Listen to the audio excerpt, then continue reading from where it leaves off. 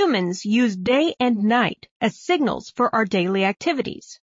When the sun comes up in the morning, we get out of bed and go to school, work, or play.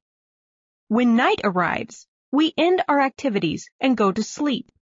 We use the cycle of the day as a way to identify when we should be active and when we should rest.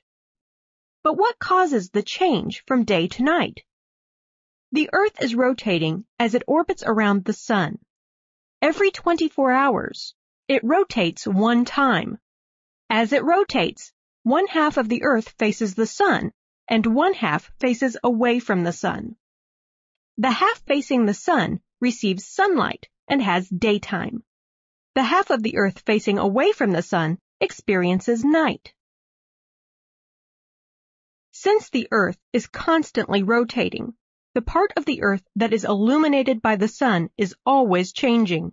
Take a look. Here is a model of the Earth and Sun. In reality, the Earth is much smaller than the Sun and farther away from it, but this model, even though it's not to scale, will help us review the cause of day and night. The United States and Japan are both marked in red on our model of the Earth. Now, Watch what happens as the Earth rotates. When it is day in the United States, it is night in Japan. That is because the United States is on the side of the Earth directly facing the Sun, and Japan is not. But as the Earth rotates, the United States moves away from the Sun, and other parts of the globe are lighted by it.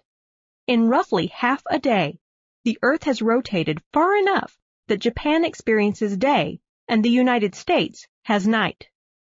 As the Earth continues to spin, the part of the globe where Japan is located will turn away from the sun and return to nighttime, and other parts of the Earth will turn toward the sun.